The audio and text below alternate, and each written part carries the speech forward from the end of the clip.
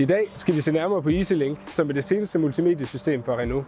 Jeg vil fortælle jer lidt om, hvordan du bruger systemet, og hvilke funktioner du kan styre ved hjælp af multimediesystemet. Så lad os hoppe ind og kigge lidt på det.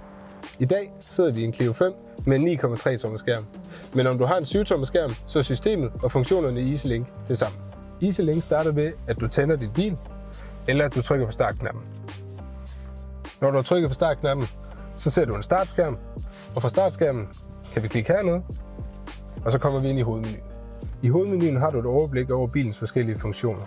Vi har blandt andet navigationen her, hvor du kan indtaste adresse heroppe og slå lyd til og fra.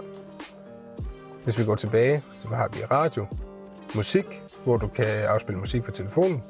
Vi har telefon, hvor du kan foretage opkald, forskellige apps, info omkring bilen og indstillinger, hvor du kan indstille nogle af bilens sikkerhedssystemer.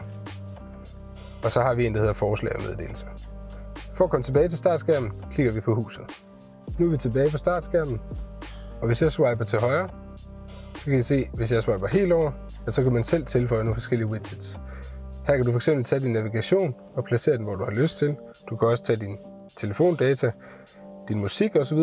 Og det, du kan bruge det til, det er, at så har du altid de funktioner, du bruger mest lige ved hånden. Hvis vi lige går tilbage her,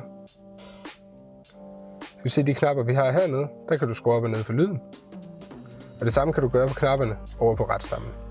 I videoen her har jeg brugt bilens touchskærm til at betjene systemet. Men hvis du trykker på rattet, så kan du faktisk også bruge din stemme. Og det vil sige, at du kan bruge systemet, imens du kører på en sikker måde. Jeg håber, at den her video har lært dig lidt mere om EasyLink. Men hvis du har konkrete spørgsmål, så stil dem hernede i kommentarfeltet. Og hvis du vil se lignende videoer i fremtiden, så husk at følge med på vores sociale medier.